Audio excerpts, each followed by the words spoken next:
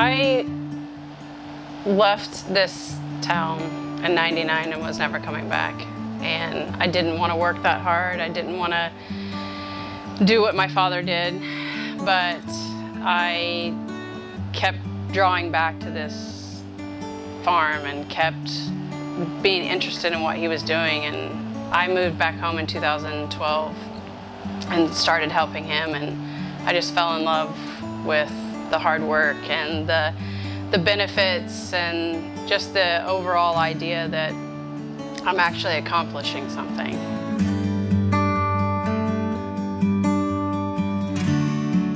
God has given us this land for a purpose.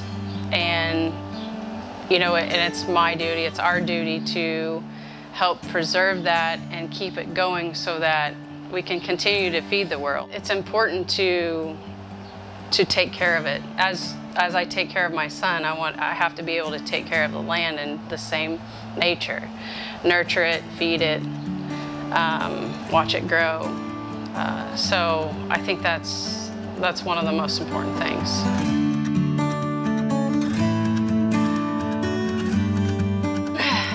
Being a woman in this industry, in this community, is is not unknown but it's not the norm. If somebody says, the farm, that farmer over there, you, everybody's mind automatically goes to a man.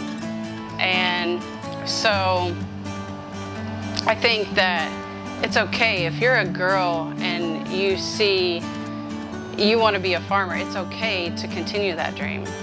In life comes difficulties and you're already prepared to face those. So I think you're even more well equipped to be a farmer than most people.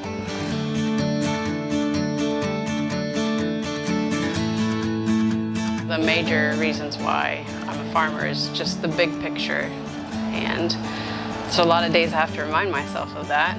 But, you know, at the end, like the end of the day yesterday, our first day of wheat harvest, and it's all worth it. You know, getting home at 10, 30, 11 o'clock at night after a hard day's work, it's, it's worth it.